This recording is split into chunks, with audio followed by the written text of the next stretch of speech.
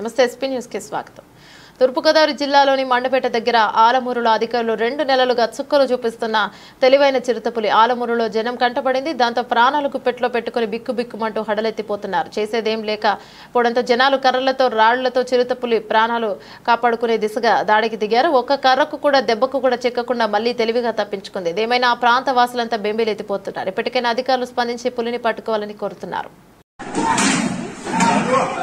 হাত কমানো